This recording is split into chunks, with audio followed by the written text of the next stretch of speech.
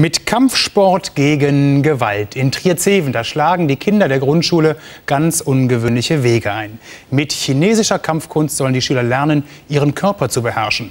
Und das nicht, um neue Kämpfer an deutschen Schulen zu formen, natürlich nicht, sondern ganz im Gegenteil. Wing Chun, so heißt die Kampfkunst, soll vor Gewalt vorbeugen. Lassen Sie mich in Ruhe. Aber ohne zu lachen. Nochmal. Ganz laut. Lassen Sie mich in Ruhe. Okay. Wir haben konkrete Fälle, wo Kinder zu uns kommen, die gemobbt wurden, die an Schulen äh, gemobbt wurden oder auch im privaten Bereich. Wir haben Fälle äh, von Happy Slapping Opfern, dass also jemand mit der Kamera aufgenommen wurde während einer Verprügelszene oder Prügelei ähm, und das Ganze ins Internet gestellt werden sollte.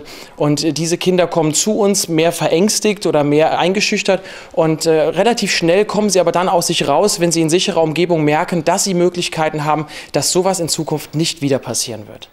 Auf dem Stundenplan Grenzen aufzeigen, Hilfe holen. Der Lehrer Wing Chun Trainer Konstantin Mock. Ihm geht es als erstes darum, die kindliche Wahrnehmung für die Gefahr zu schärfen. Schuldirektor Günter Hagelauer hat das Projekt angestoßen. Er will seine Schüler schließlich stark machen. Es äh, gibt an unserer Schule Gewalt. Es gibt, denke ich, an jeder Schule Gewalt. Die gewaltfreie Schule wird man vielleicht mit einer, Lupe, mit einer Lupe suchen müssen.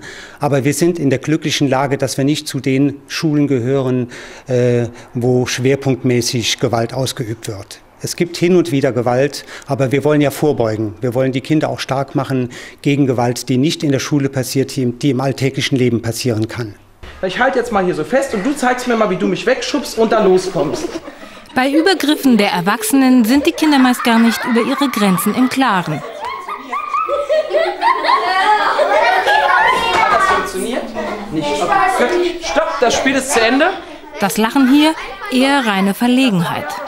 Viele Erwachsene gehen hin und erzählen Kindern, sie könnten sich einfach selbst wehren, sie könnten körperliche Techniken anwenden, sie könnten einen Tritt zwischen die Beine machen oder sich aus dem Griff, aus dem Griff raus befreien. Und das geht einfach für Kinder nicht. Die sind zu schwach, die sind zu klein und die müssen erst mal lernen, dass sie das Ganze mit Strategie lösen müssen.